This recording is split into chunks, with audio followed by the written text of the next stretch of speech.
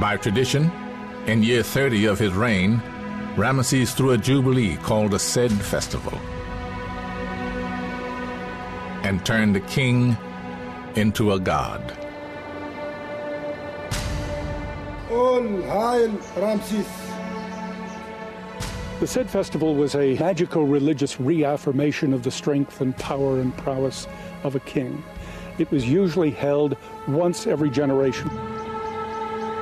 Only halfway through what would be a 67 year reign, Ramesses had already eclipsed all but the greatest pharaohs and his achievements.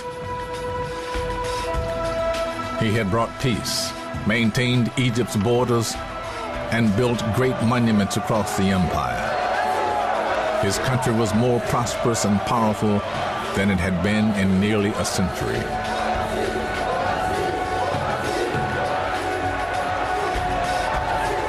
By becoming a god, Ramesses dramatically changed not just his role as ruler of Egypt, but the role of his firstborn son. And as commander in chief of the army and the heir apparent, Amenhotep became effective ruler of Egypt. He was pharaoh in all but name.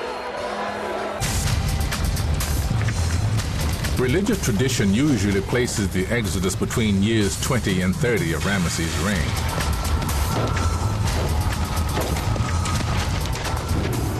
While a pharaoh became a god and his son became a ruler, an exiled prince returned to Egypt. A man who believed in one God, Moses. He's got wealth and power and assets He's a force to be reckoned with. He's got the ability